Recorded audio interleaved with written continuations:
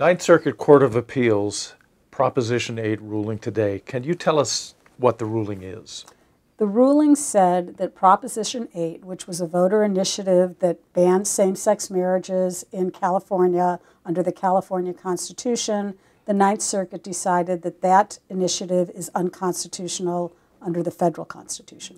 So, what effect will this have on uh, same sex marriages in California and, for that matter, in the U.S.?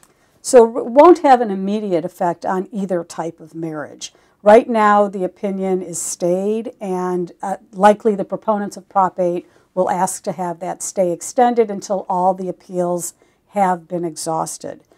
After all the appeals have been exhausted, if um, either the Ninth Circuit decision stands or either the full Ninth Circuit in a rehearing en banc or the U.S. Supreme Court affirms it, then marriages would start in California again, but it will have no effect on marriages in other states. Because? Because the, if the court carefully limited its ruling to California, and what it found unique about California is that we had same sex marriage in California, and then the voters took the right to marriage away. In addition, we have a domestic partnership law that provides all the same rights as marriage, but not the name of marriage. And the court emphasized that those two facts together makes the state of California unique. It's different, that isn't true in any other state.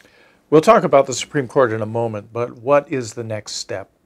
That's up to the Prop 8 proponents. They have two options. They could petition the Ninth Circuit for what's called a rehearing en banc, where a larger group hears it. It would be 11 judges on the Ninth Circuit or they could choose to bypass that and go directly to the Supreme Court and ask the Supreme Court to grant cert and hear the decision. So we have to wait to hear from them what they're going to do.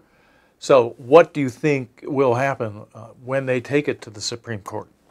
That's a very good question, and it's really up in the air. The Supreme Court very easily could deny cert. They could say that this is a narrow issue limited to the state of California and it isn't the kind of case that the California, excuse me, that the U.S. Supreme Court typically hears, or they could decide that they want to hear it because it's such a hot topic.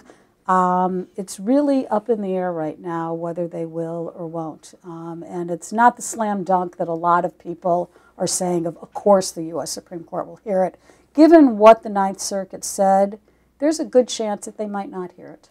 Because there are very narrow issues here. If the Supreme Court uh, did uphold whatever the Ninth Circuit does after that venue is, is finished with all of its actions, it still would not have impact outside of California?